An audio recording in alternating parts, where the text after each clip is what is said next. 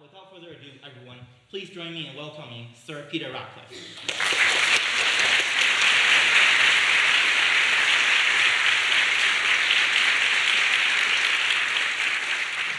Well, thank you, Peter, for that uh, very kind introduction. Um, I'm going to tell you the, the, the story, a rather chaotic story, of our research in the laboratory on cellular oxygen sensing over 30 years now.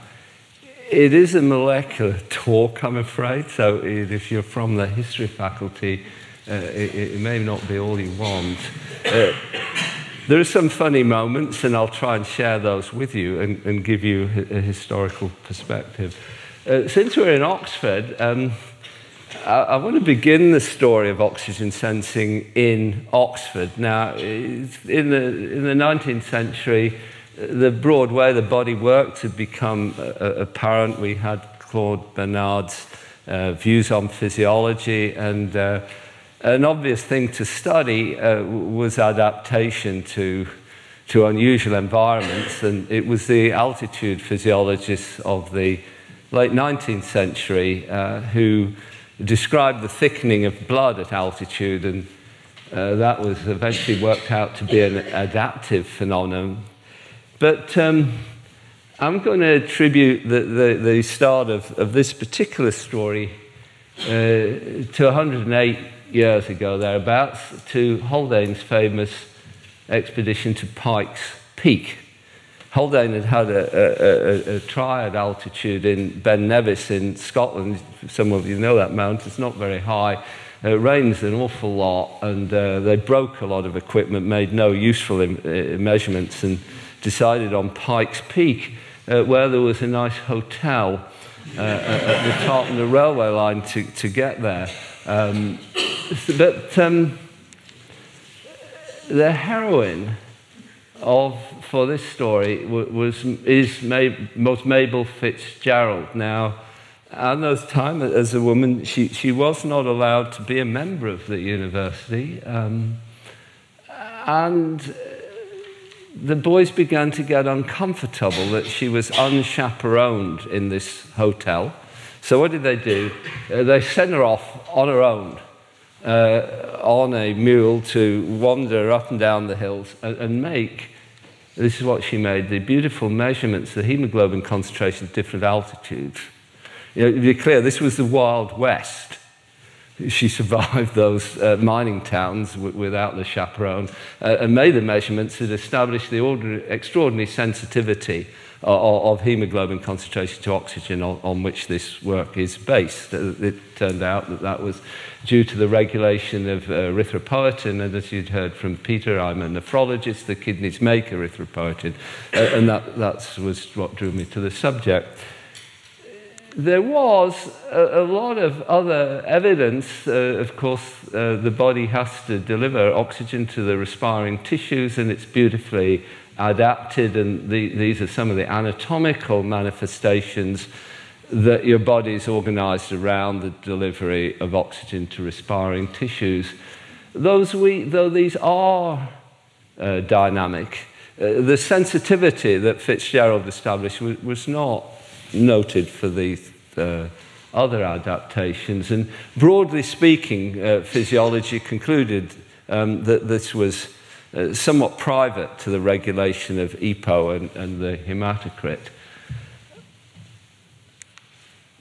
Um, an important um, people were asking why, why, you know, why did you decide to do this? The, the bold answer is um, it was a lucky choice.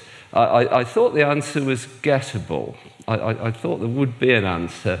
And, and, part of the reason for that is, is on, on this slide. Uh, ancient literature, again going back to the 19th century, uh, established that uh, cobalt was associated with uh, erythrocytosis. The causality of that, uh, shown uh, with beautiful clarity but dubious ethics here, by the infusion of cobalt into consenting volunteers in a hospital uh, with, for patients with serious psychiatric disorders. Um, so one wonders about the consent, of course. They didn't kill anyone, but you see there's a pretty clear effect on the hemoglobin resulting in venesection. So that established with total certainty that cobalt did this. Cobalt is not a metabolic poison, so this distinguishes the system from what was believed to be possibly responsible for the organization of the body and is responsible, metabolic sensing, that's a different thing. This established that this was different, likely, uh, from metabolic sensing, because it's not a metabolic poisoning, and cyanide does, or, or, or other mitochondrial toxins do not have that effect. In parallel, there was this beautiful data showing the rise in EPO, which you make when you donate a unit of blood, just sufficient to replenish the blood that you've donated. And those findings led um, uh, to my interest and, and others in trying to move from EPO to oxygen, and, and, and, that was a good time to start because the EPO gene had been cloned. So um, there had been a big history of trying to work this system out for, for decades in, in the mid 20th century. But now the EPO gene was cloned, uh, we, we thought um, uh, we, we, had a toehold on it.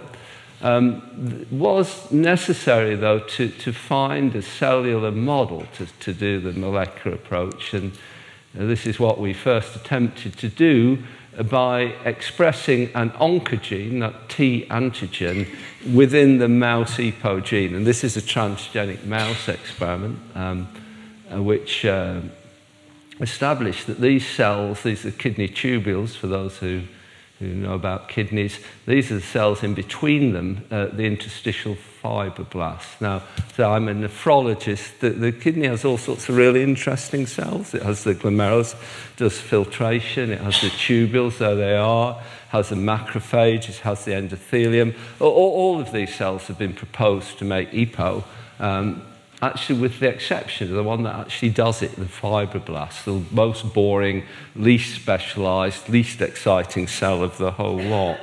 And uh, that's going to be a theme that's coming up in, in this talk, quite, quite how wrong people can usually be when they, when they speculate.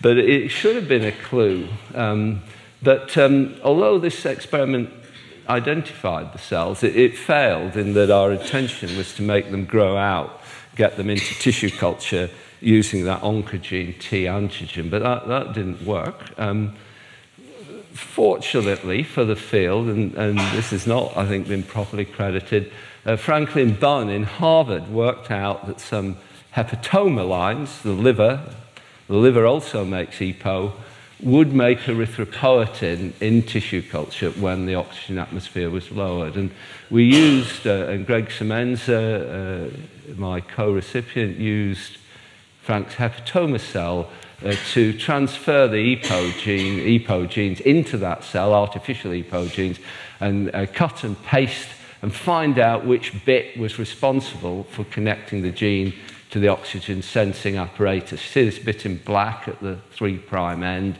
That's the bit that when coupled to this alpha globin reporter gene that isn't ordinarily induced by oxygen uh, confers the oxygen uh, property on it. So, so that was the first step in the journey. Uh, perhaps not surprising, these cells make EPO, so there would be a control sequence, but it, it, it was the first rung on the ladder, so to speak. Now, um, the question was how to go further from that, and I, I knew that my biochemical skills were poor. I'm a physician, as you heard, not a biochemist by training. So I wanted to take a shortcut. I, I wanted to do an expression cloning experiment. That's where you, you, you, take the genes from one cell or organism, transfer them to another cell or organism, transfer the property, and hence the genes are inferred to encode the property. Uh, very clever and I, I admired. So that's what we wanted to transfer from, from Frank's cells uh, that had the property to, to one that didn't. That's practically all other cells, we thought.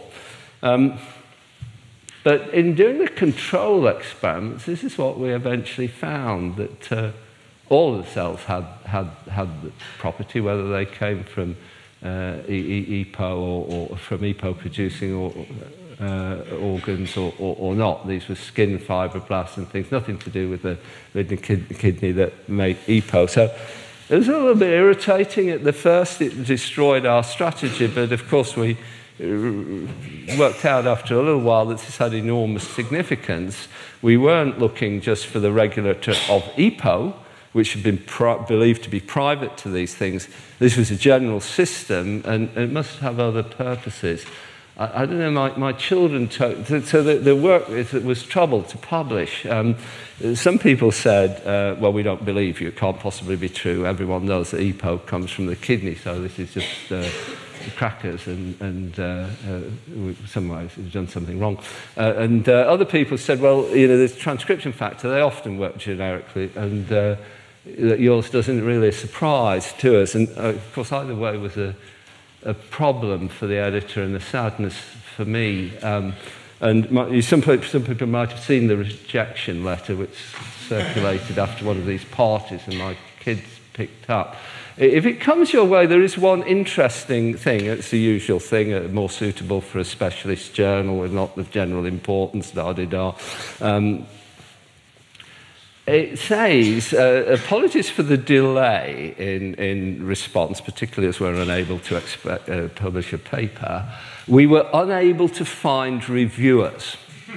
now, think about it. If anyone ever says that to you, it means you're in a new field. So the combination of having something that's probably important and people being unable to find reviewers means you've, you've broken out into your own field. Um, the, the, the, guy running the institute where I worked, Sir David Weatherall, David was so fantastic to us all that when everything, anything like this happened to you, rejection, the thing to do was get in his office and manifest some obvious loss of personal control and stay there until, until he'd done something about it, which he, he duly did, and the paper uh, eventually appeared in the proceedings of the National Academy of Science of the USA. But um, that opened the field for us. Uh, Greg Semenza identified HIF and later cloned HIF, which is the bit that stuck, the protein that stuck to that sequence.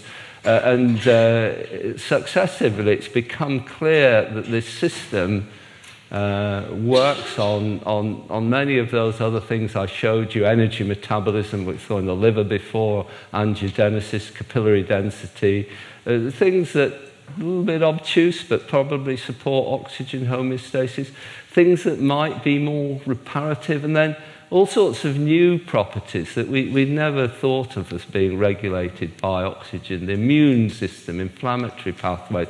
We're still not sure, and I, I'll come to this, whether, whether these really is a new physiology of oxygen, which, which, which is, was not anticipated at all, or, or whether these are just add-ons.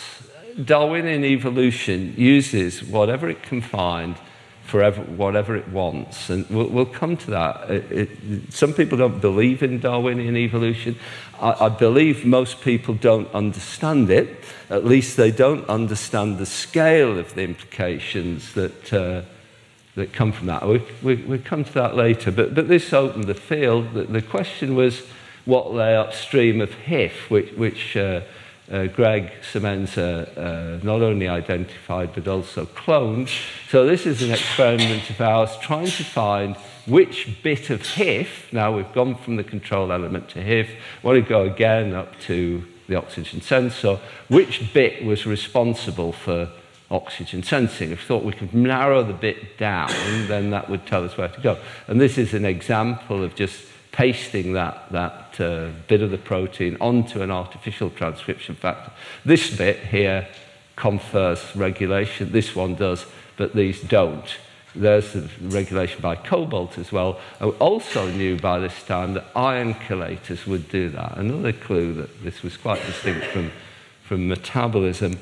So uh, that's what those experiments, we laborious, we went through that and they found that there were three regions that would do this, and, and, and they, of course, had to interact with the oxygen sensing system. So that, that was the next bit of the journey. Uh, of course, um, everyone knew, uh, knows that uh, protein phosphorylation, uh, kinase, phosphatase cascades, they regulate signal transduction. So everyone was looking for a phosphorylation system that would link the oxygen sensor to residues, which had to be in one or other of the, well, had to be in all of the domains. They all did it in isolation. And um, we, we went through this. We, we um, mutated every phosphoacceptor in that region, made no difference at all. Uh, and that, as you can imagine, was also a tricky one to publish. Um, people said, well, this is, this is all negative results. I mean, someone, I think one of the reviewers even suggested we might be overfunded to do so many negative experiments that, you, you know, it, it, it did change thinking because it did exclude the mainstream mechanism. So these negative things are sometimes important. But we didn't, uh, at that time, know where to go. And, and the, the next clue uh, uh, came uh, from uh, one of the co-recipients, uh, William Kaelin, and also Rick Klausner, who, who noticed that kidney cancer, which has, is mutated for this tumor suppressor, the von Hippel-Lindau, appears to have some abnormality of hypoxia regulation since, at least in the familial form, you, you get the association with overgrowth of blood vessels. It's a retinal photograph uh, in, in, the, in the retina. Uh, and, and the tumour itself is highly vascular and, and sometimes is associated with excessive red cell production. So, so there seemed to be a, a hypoxia connection, and, and they saw some of the genes we'd identified, the uh, mRNAs, were upregulated in, in these VHL defective cells. Um, we, we made the connection to HIF, uh, and here is the this is one of these eureka moments where someone shows you a blot that is without doubt telling a story. Uh, and, and this is one made by Patrick Maxwell. And uh, here in the VHL negative uh, cells, uh, you see that, that HIF isn't much regulated by oxygen. When we put VHL uh, back in, um, then there's this enormous regulation. So you, you, we were pretty lucky here. Uh, you could ask why, you know, since this connection was first made in, in Harvard, it's, it's not a bad medical school, it's not uncompetitive either, why they didn't uh, clean up. Um, the answer is that um, uh, we had made antibodies, and this is a lesson. If you were going to lead a field, you are going to have to make your own antibodies because the, these are the reagents that we use to, to, to understand our system. And if you have to wait for Santa Cruz to market it, then of course all these, all these hungry people will get there first. So we, we made antibodies, and that's the second lesson that you, you need to be prepared to do that. Um, now, uh, VHL uh, has been, uh, the structure suggested that it was a ubiquitin ligase, a, a, a, a protein that's involved in the tagging of ubiquitin to proteins to target them for destruction. And, and that was what we eventually worked out, that um, uh, in the presence of oxygen, uh, VHL would bind to HIF, uh, so that was that was the implication of the blot you've just seen. In the absence of oxygen, that, that um, didn't happen, so the HIF was not destroyed. It built up uh, uh and it uh, mediated that transcriptional response, which we uh, talked about being so extensive. So the question was now, what is it that, that controls that interaction? And uh, this is, of course, a classic biochemistry uh, experiment. You, you could treat the peptide with cell extract and uh, measure the interaction between these proteins. That, that's what we did. Um, as I said, I'm not a biochemist, and um, we modeled through this in, in you know, quite a disorganized way. Uh, we, we found that it was heat labile that suggested enzyme needed oxygen, needed iron, didn't need ATP, that, that was consistent with the protein phosphorylation not being relevant. But we didn't do it terribly efficiently. And this is again the thing how, how did we claw our way through that? Well, as I said, we, we sort of burst into a new field. So it, it wasn't, it, it, we would have been easily outcompeted by, by uh, the competent biochemistry labs in the world. But we, we had a bit of a lead, and, and that's what we found. We, we could mutate the HIF peptide, here it is, and we noticed that um, this, is, this is a capture of HIF by VHL, pull down VHL, see whether the HIF will come with it. And uh, uh, uh, as you see, this uh, mutation of proline completely uh, uh, ablates the capture. So it seemed there was something likely about that. You, you can perform mass spectrometry of that peptide, so you measure the mass before or after treatment with, a, with an extract. Uh, and and we, we noticed, or we could dis, eventually discern that there was a, there was a 32 shift on, on this peptide Uh, whereas on, on, the, on the Y11, there, there was only a 16 shift, so 16 different. That's, of course, the atomic weight of oxygen. And that implied oxidation on proline.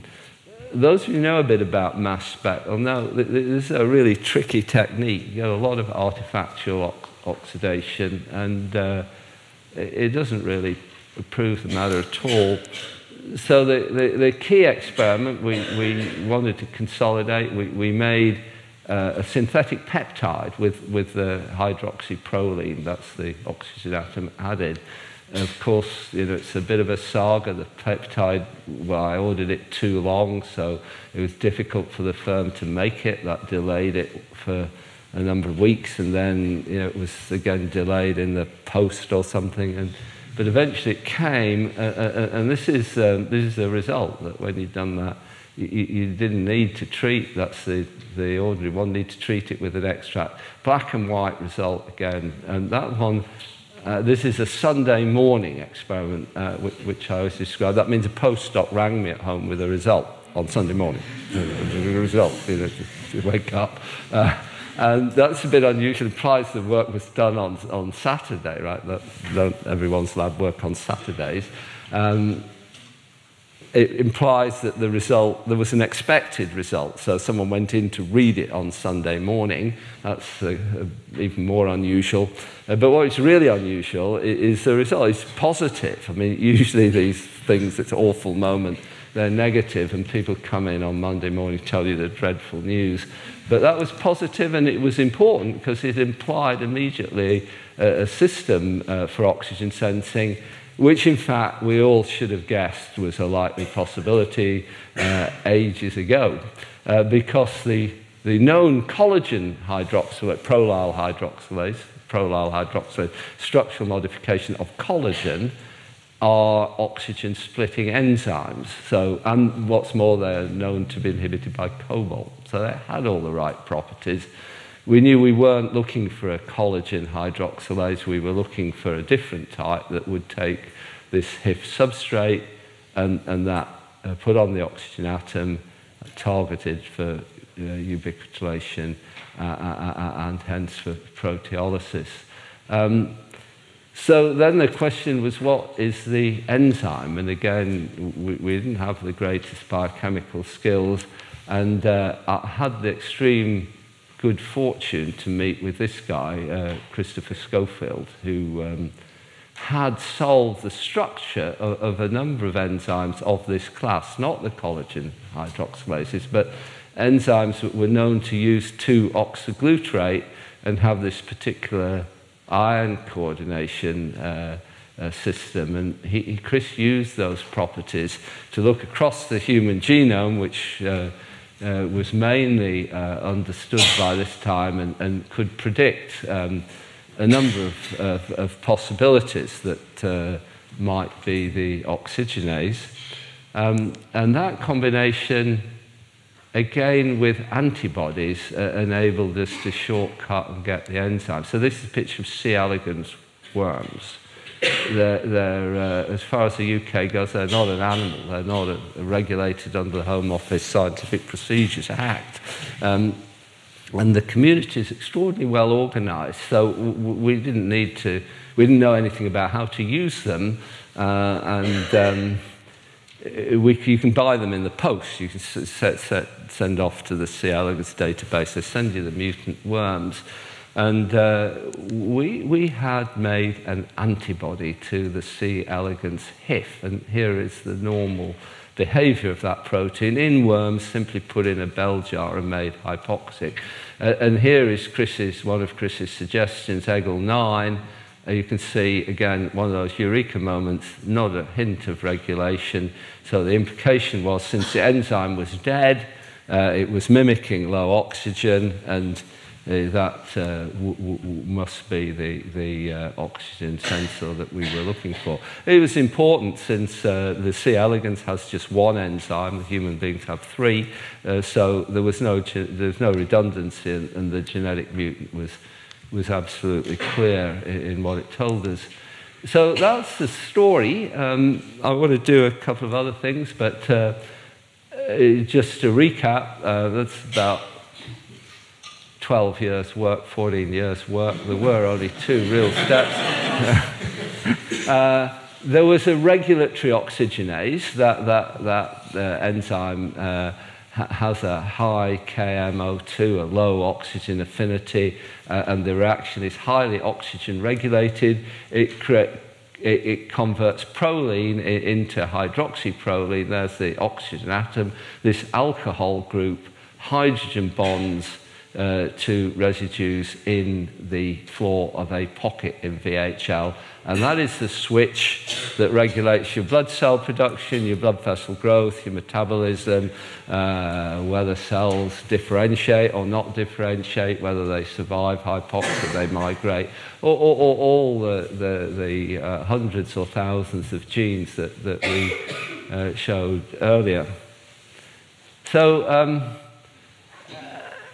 in the end, um, we'd all written reviews about what the oxygen sensor was, like we'd all written reviews about what cells in the kidney produce EPO.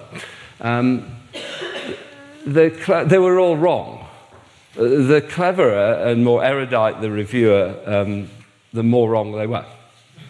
Uh, and if you looked at uh, the, the, the, everything except the right answer had been proposed. A reasonable conclusion would be we were trying to confuse each other and put each other off the, the, the scent. There's only, uh, so why is uh, biology so confusing?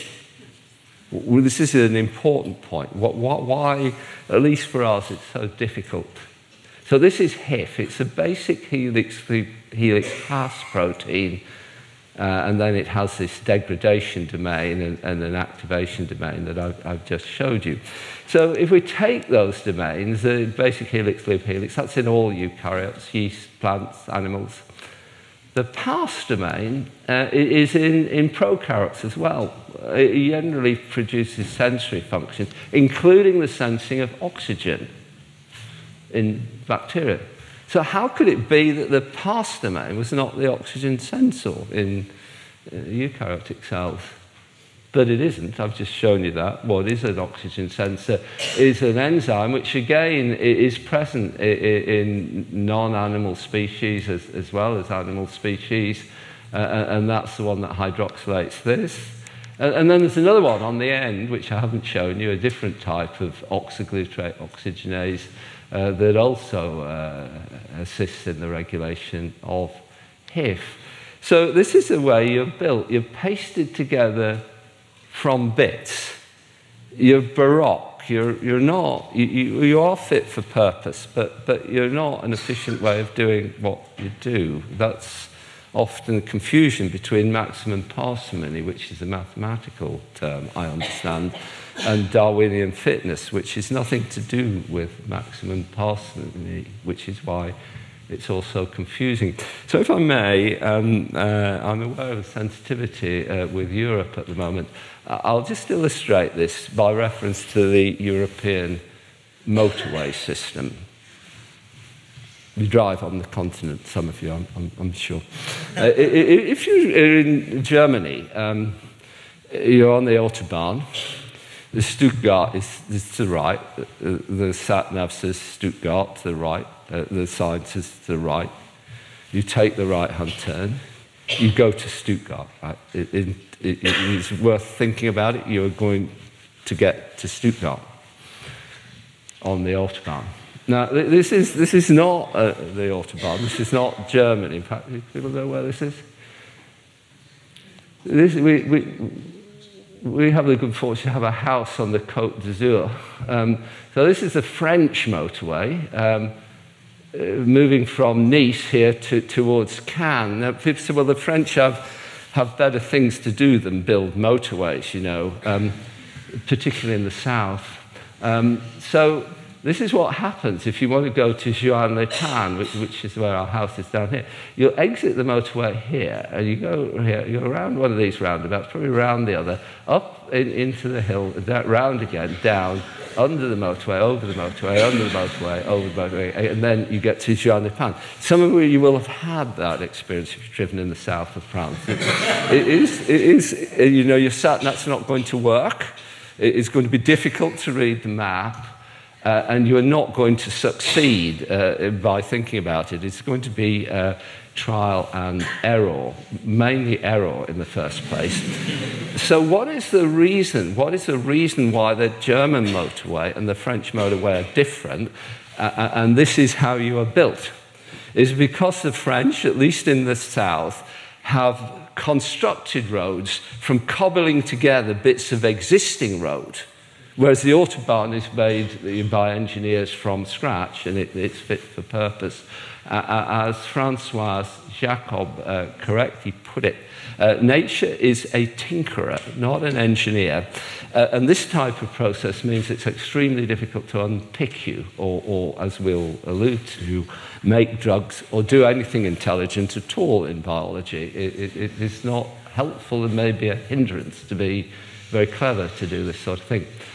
Anyway, I, would like to move on and show a little bit more um, about the system, and, and, then we'll close with, with drug design. So, so this is Christoph Lehnertz. He uh, was a, a, very able PhD student in Christopher Schofield's lab, and, and Christoph has lined up all, all, the, all the enzymes and the HIFs across all the animals. And, and, and what it shows here is that at the base of vertebrate evolution, uh, there were gene duplication, so we've all higher animals have, have, have more of these things. Now, we're anxious to understand the system, to take it apart, and to make drugs, uh, and to understand physiology. Uh, these higher animals, the vertebrates and ultimately the uh, mammals and the humans, have specialized delivery systems uh, to uh, regulate oxygen, to, to bring oxygen to the body, the lungs, the heart, the breathing control, and all that. So the question was would, would, um, uh, would there be particular isoforms of this that have particular jobs? We'll just look at that data a little bit, but I, I want to go um, start this again with Haldane. This was another figure, this was not Fitzgerald, this was Haldane himself in the comfort of the hotel with the other men.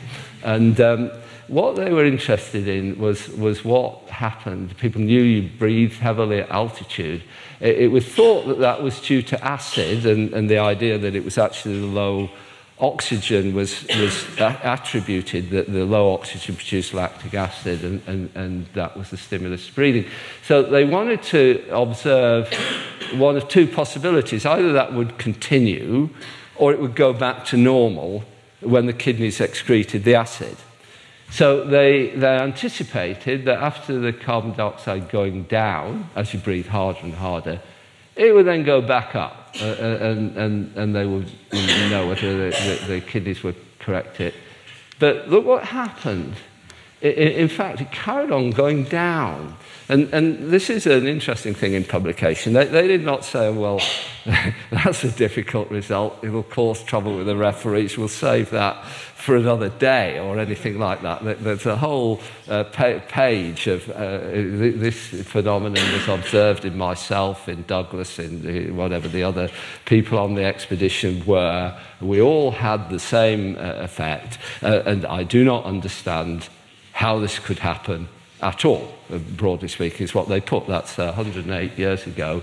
Uh, it came, uh, it, it is in fact the phenomenon of acclimatization, which Peter Robbins here in physiology uh, demonstrated was due to uh, an increase in sensitivity to acute hypoxia, which develops over hours or days, days in this case, at altitude. So you make a very rapid response to breathing a hypoxic atmosphere.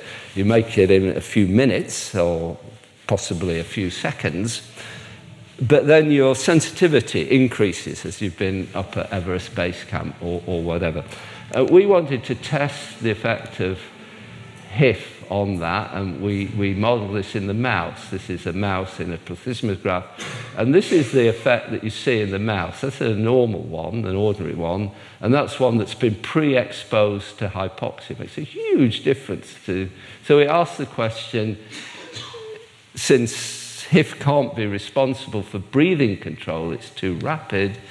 Is there an interface? Uh, uh, and the answer is um, yes, there is, and it's highly specific to this HIF2 isoform. You see, if we knock out HIF1, these are recombinant mice, broadly speaking, the adaptive response is the same, whereas it's completely ablated in the HIF2 mouse.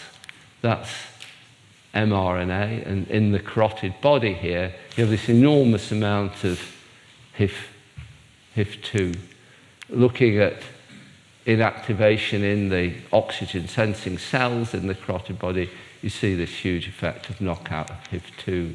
And if you look at the uh, carotid body type 1 cells, the uh, sensitive cells uh, down with an electron microscope, you see that this response, they're, secretory, they're neurosecretory cells, this response that they ordinarily make to hypoxia, get these big eccentric vesicles, is completely lost in the knockout animal.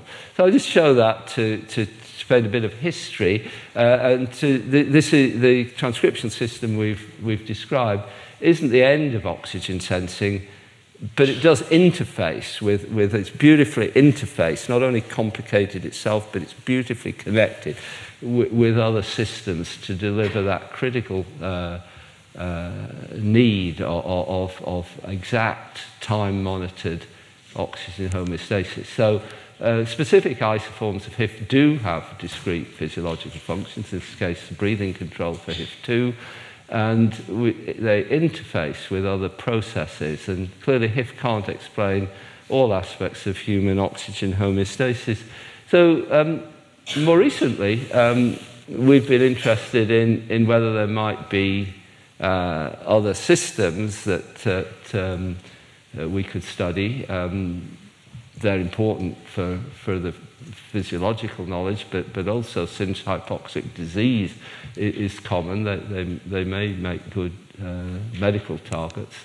Um, and um, since we described that system in animals, it's become clear that all four eukaryotic kingdoms, animals, protists, plants, uh, yeast, fungi, all, all use different types of pro enzymatic protein oxidation coupled to degradation to signal oxygen level. Seems a very inefficient way of going about things, uh, but that's the way it is. We, we don't fully understand why. Um, so these are animals and protists. We, I've just shown you this one, modification of the transcription factor, hypoxia-inducible factor, to make it associate with the, the destroyer, ubiquitin ligase. In, in protists, it's the ligase that's modified and, and that's involved in, in uh, switching of different types of behavior in dictyostelium. Um, we, we've been interested in this one, that yeast uh, employ a, a different enzyme, a prolyl. This is prolyl 4 hydroxylase. This, this uh, oxidizes uh, one or the other uh, uh, carbon atoms, the, the, the, the, the three um, in the ring. Uh, uh, and in, in fungi, that's involved in the sterol response. Cholesterol is a oxygenated molecule, needs a lot of oxygen for synthesis, and uh, that's regulated uh, strongly by yeast. And there's a human enzyme, which I have to say, studying over the last eight years, we, we still have not worked it out. The plants, however, um, very interesting. They use a different type of thing, cysteine oxidation, uh, and that, that, that, that, that's to regulate the destruction of transcription factors, which in plants are ethylene response factors that are responsive to this. Uh, they have a, uh, uh, in residue. Two, they have the cysteine. So methionine is first removed, that exposes the cysteine, and, and, and that's a, a regulatory principle in, in plants. So it's just chance encounters that move you on in life. And I, I, I, ha, I was asked to a meeting in, in, in Rome. I almost cancelled it because I had to go and pick up the Lasker Award. If you get these things, you do have to go. But in the end, uh, my secretary arranged a nice, neat air flight that could just do it. And I, talked, I gave the first talk, and then a guy called Francesco Licozzi uh, gave a second talk. Francesco had worked on the plant system. I wanted to rush off, but I just caught him at the end of the lecture. He said, Could I have some of the plasmids that you've made to express in plant cells? I want to see how the plant, how the animal system works in, in plant cells. So very good, Francesco. We'll send you those. I wonder perhaps we should take some of the plant things and see if they work in animal cells. And, that, you know, and then we dashed out and caught the aeroplane, or I did. Um, and um, so this was what we found, that this was a bit of DNA from a plant fused to a reporter gene and put into an animal cell. And that's the regulation by, by oxygen in, in, in, in the uh, animal cell. So it was there. And furthermore, when we mutated that system, it didn't work at all. Um, that led to the prediction that there was an animal enzyme that was orthologous to the plants. And um, this is an experiment uh, that I really like because I'm not a plant biologist. Uh, of Francesco's, this is the plant which is deprived of its oxygen sensor. Uh, plants uh, get hypoxic in floods, but when the oxygen sensor is, is, taken, they, they go into a constitutive uh, hypoxic uh, gene expression program and they don't like it. So you get this weary little plant. When you put the human enzyme back in to complement it, it grows very nicely. And I love that experiment because I know nothing about plants, but that wasn't my experiment. Uh, but that, of course, established that the system is orthologous. There is another oxygen sensor working through that protein oxidation. Uh, uh, uh, and this is one done by Tom Keeley in the lab, showing that when you knock out the human enzyme, it has an effect on, on this target, which is ordinarily regulated uh, by oxygen but isn't in the knockout. That target is a regulator of G protein signaling, and here is the effect of the knockout on G proteins. G proteins are the transducers of many drug effects, and we're working. Uh, with Norman Masson, who did this, and Tom, to try to understand the interface. In this case, with a more rapid oxygen sensing system in animal cells. So, um, just to summarize then, we, have we, got this one. Uh, this is the first system I showed you, HIF prolyl hydroxylases. I put in five or six arrows, but I could have put in five or six hundred. It, it regulates a massive cascade of, of, uh, of transcription responses. In the plants, uh, we, we have this other system that is similarly organized through uh, protein oxidation uh, and similarly uh, the transcription factors, which are these ethylene response factors, have a, a lot of targets. Um, uh, uh, but then we found um, that um, the plant system has the ortholog in animal cells uh, on uh, working on G protein signaling, which of course have many, many effects in animal cells. And then we found one more, or rather, it was pointed out to us uh, that these things are not only targeted for destruction by this system, they are also transcriptional targets of HIF. Each one of these is hundreds or thousands of arrows. So, in the face of all that, how could you ever make a drug? We started with EPO, we found the system, and now people want to switch on EPO, which is a market of 10 billion a year, so it's worth doing if you can do it with a better drug. Um, if you'd asked the field at the start, could you I mean, these enzymes are eminently druggable. The, the 2-oxyglutarate is a co-substrate. Uh, you can make an analog, so it is a medicinal chemist's paradise. There's a template to make. So would, it, would you be able to treat anemia given all the complexity that I've shown on this slide? And the answer must have been, you're joking, you, you can't do this. Uh, it'll have some other horrendous effect. As though that was 2001, uh, we're 18 years down the line, what's the status? So I missed one out there. Um, that, that, the, these are all the things that we, we uh, you know, could do. And as I say, that's the question. With these drugs, that, that is the, the drug uh, in the pocket. That's the oxyglutarate analog. There are other drugs that break it.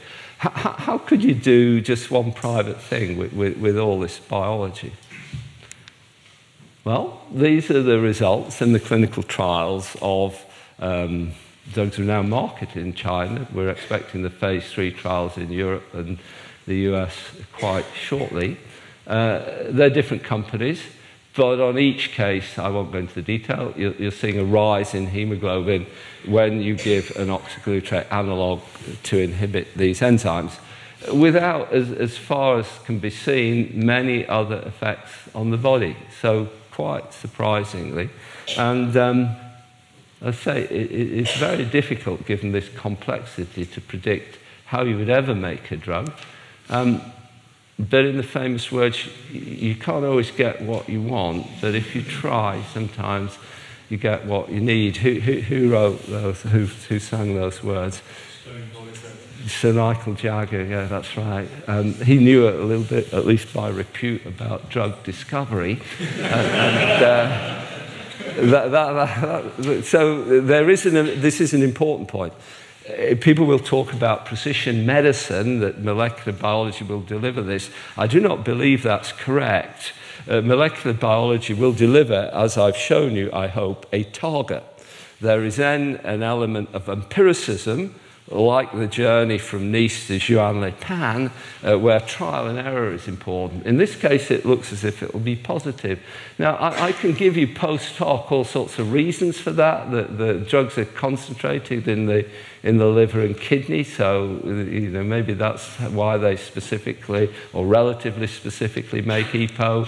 Uh, the, the drugs don't hit that that other enzyme I talked about, the, the one on the, on the end of the HIF gene, and EPO is, is not much affected by that enzyme, but to be honest, the data is not very convincing. Um, that first slide, the, the little uh, production of red cells after to, to, to compensate blood transfusion. Red cell lifespan's 100 days, so if you just flick a few out with a, with a little dose of the drug, then you could integrate pharmacodynamically uh, and, and perhaps by dose spacing get what you want. Um, the kidney has this beautiful countercurrent system, and in the normal setting, uh, if you, you, you're just like you and I here, we're just making EPO just down at the corticomedullary junction, right, right in the inside of the kidney. As you become more anemic, you switch on all, all, all these cells. So these cells are amplifying the signal. Uh, when you give a drug, of course, it might be agnostic to that gradient, so it can immediately switch the whole lot on. What happens in the diseased kidney? Probably disorganized, won't perhaps not seeing the oxygen levels properly. Again, the drug might be able to reach all the parts and switch it all on. So it's possible that the, this is an amplifier making the EPO gene specifically sensitive. So if HIF's regulated tenfold in any one cell, uh, the amplitude becomes a hundredfold. So that the drug has more to work on. That might be the explanation.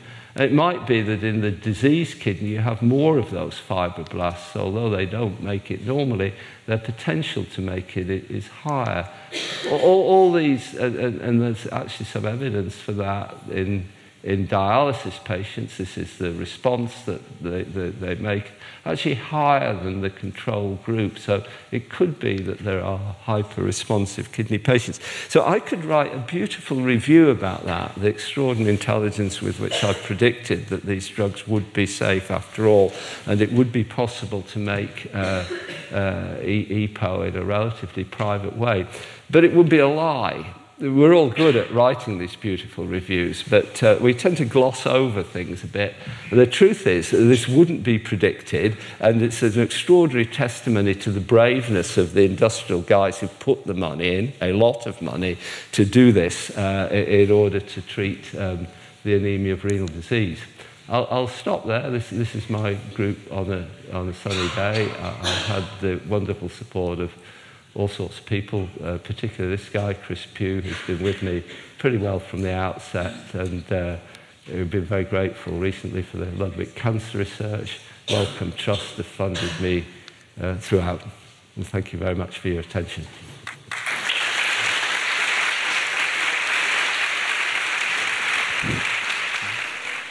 Thanks for a great talk and congratulations for the Nobel Prize. Uh, I just would like to ask um, animals that survived in low oxygen, like a subterranean mammal, like mole rats, Yeah. or animals that live uh, underwater, how would this response be in terms of those animals? Will their uh, genes be constitutively expressed in those, or they have a different sort of hypoxia maintenance mechanism? It's a very good question. Uh, we, we, we don't really know the answer. The, the um, trichoplax HIF uh, enzyme, which is the most ba basal animal, seems to work in human cells.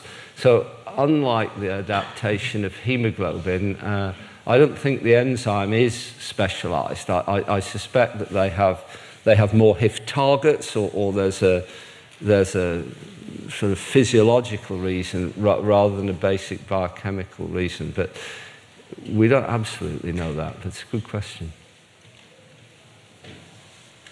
Hi, Mr. Radcliffe. Thank you for your talk. Um, I have a more general question. You mentioned uh, you're a physician scientist, and I'm interested in how you approach in balancing those two roles and um, whether it's more difficult to find time to do science as a physician and any advice you would give for anyone who's interested in becoming um, Sure. Well, well, it was sort of important, and as I said, it was a new question. To, to be, what, what we had to do as clinicians who wanted to, to get on, not in science but in anything, we, we, we, we, we, were, we had to write case reports. People said, well, if you're an alive clinician, you'll, you'll see the patients and you'll describe the diseases.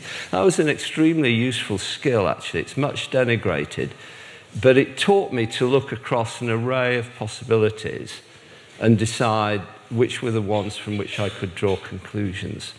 That training doesn't arise in science, but it is true in medicine. I, I think that was, was important. Now, now, the ward is busy, and it will be difficult to do this sort of stuff as you're, you're running a ward. I trained sequentially. I was 35 when I started this project. I'd already trained clinically. I had my specialist training in nephrology.